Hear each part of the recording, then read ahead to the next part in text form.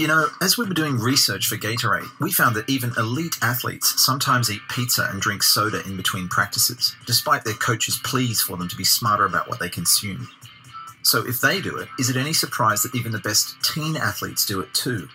We also found teen athletes often chose to drink water during practice because they thought it provided the proper hydration they needed.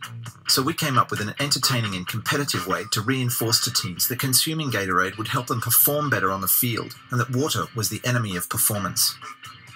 Working with a game developer, we integrated Gatorade into Bolt, a mobile game featuring Usain Bolt, Gatorade athlete and the fastest man in the world. The integration needed to position Gatorade as the hero, helping drive better performance and higher scores, with water as the enemy that hinders performance. The objective was to maneuver Usain's character through a course in the fastest time possible, gathering Gatorade along the way to make him go faster and avoiding drops of water that slow him down. Gatorade's social media center, Mission Control, harnessed 4 million online fans and a network of influential celebrities to generate buzz around the game, including Usain himself, Troy Polamalu, and Justin Bieber. The last app I downloaded, it's called it's called Bolt. It's pretty cool. This earned and owned exposure generated strong results and a happy client with no paid media supporting the campaign.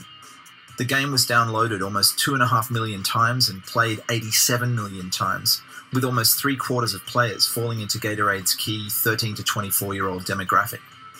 More importantly, though, the 820 million brand impressions generated drove home the message that Gatorade helps you perform better than water.